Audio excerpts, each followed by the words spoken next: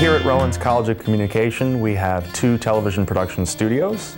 Uh, one is a multi-camera studio that has three uh, pedestal cameras with the capabilities of adding another three cameras to the floor.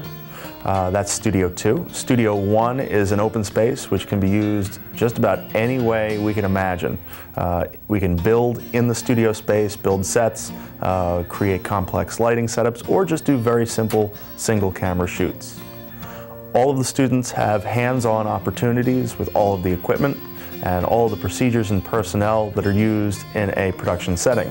Uh, students can direct, uh, produce, uh, run our technical switchers, uh, run cameras, uh, operate lights, operate audio, uh, roll tape, and have, do everything that's involved in a major television production.